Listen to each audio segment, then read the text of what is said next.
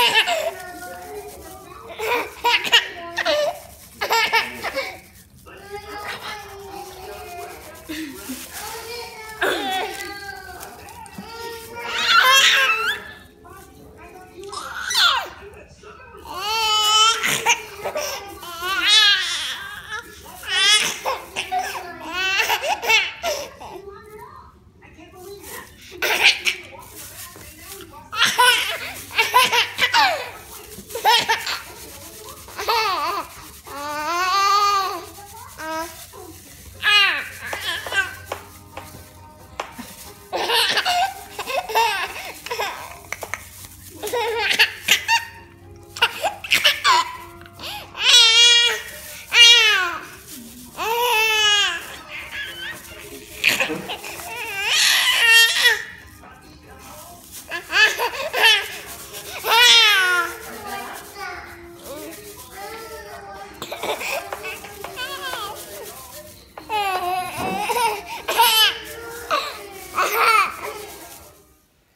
you for watching this video.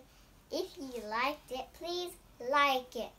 And remember, if you want to watch more, please subscribe to this channel. Bye bye.